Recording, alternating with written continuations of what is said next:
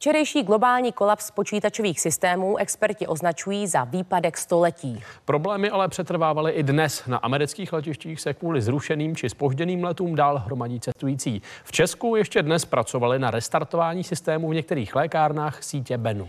Podle odhadů expertů napáchal výpadek v Česku škody za desítky milionů korun. Světově jde prý o vyšší stovky miliard korun. Takhle dnes vypadalo letiště v americkém Dallasu a jiná nebyla situace ani v New Yorku nebo v Atlantě. Tisíce lidí se spožděným nebo zrušeným letem.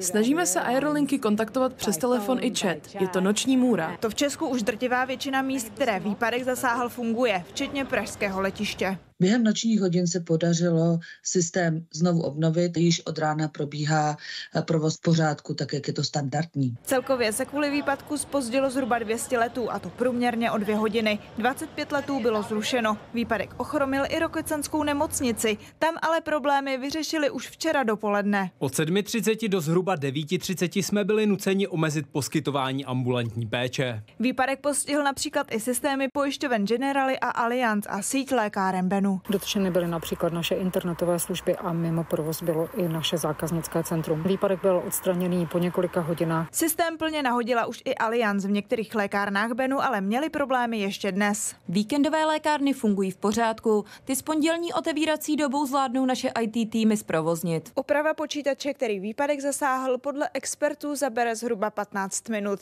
Celý proces je ale náročný v tom, že se musí dělat manuálně a na každém počítači zvlášť. To se bavíme bavíme opravdu třeba v nemocnici o stovkách počítačů, eh, celosvětově o milionech zařízení. A je to opravdu perný víkend pro ajťáky. Podle expertů se společnosti mohou na opakování podobné události nejlépe připravit tím, že budou mít předem připravené postupy, jak fungovat i bez počítače. Investice do toho vést paralelní digitální systém na úplně jiné platformě, to by byla obrovsky náročná investice. Nejlepším řešením je mít nějaký záložní plán na analogové, to znamená nedigitální řešení. V nemocnicích to můžou být papírové kartotéky, na letištích papírové letenky. Zejména v menších provozech si podle expertů zaměstnanci postačí s papírem a tuškou. Najet mohou například na systém, který používali před zavedením počítačů. Luce Hlubučková, televize Nova.